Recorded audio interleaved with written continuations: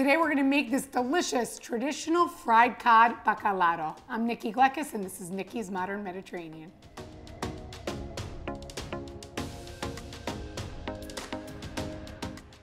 To get started on making our bacalhau, which is our fried beer battered cod, we're gonna start with some cod loin. So this is about five ounce pieces that I'm gonna cut right in half to make them more like strips.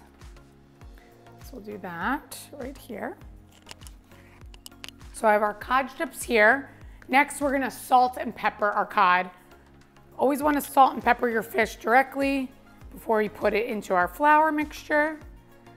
And traditionally, this dish, you know, we used to cook this a lot at Eos, but we used to do it, our Greek restaurant, we used to traditionally make this for Palm Sunday. This was always, if you were fasting in the Greek culture, this was a dish that you're allowed to eat on Palm Sunday only, but you can eat this year round, it's so good.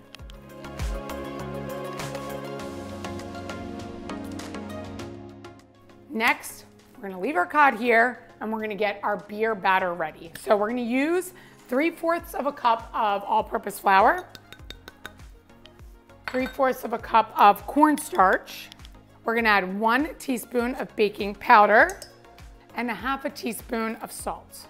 Add that right to our batter.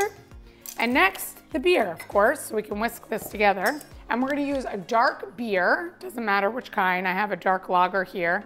And we're gonna add this, it's about eight ounces Put that in there. So we've whisked this together. This is the consistency you want. You want a nice thick batter. Look at that.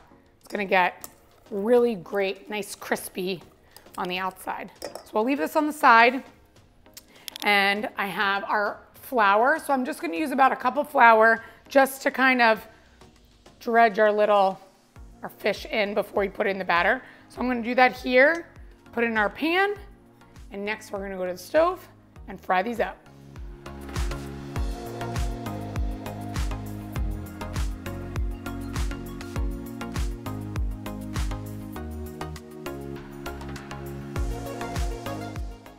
For frying, we're gonna use a deep pan because I want to make sure we have enough uh, vegetable oil in our pan to really kind of fry them all the way around. Two cups here I'm gonna heat up that oil. So our oil is nice and hot.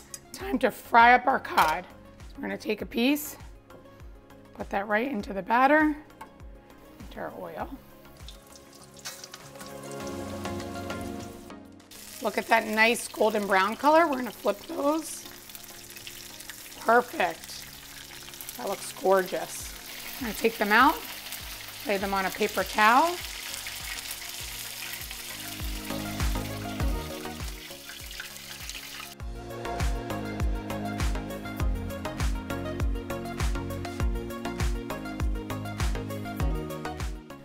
Our delicious fried cod is ready. Look at these beautiful golden brown pieces. This is so crispy and delicious. So traditionally, this would be served with skordalia, which if you click here, you'll be able to see my recipe for that. I have some made that I've made earlier.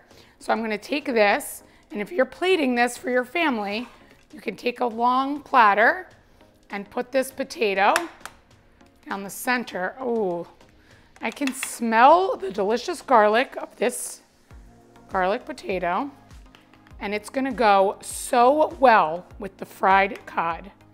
And then you're gonna take these beautiful golden brown pieces of cod, just plate them right there in the middle. This is how we used to serve this at our Greek restaurant. People loved it. This is our Greek version of fish and chips. Put that one right there. Fresh thyme on top.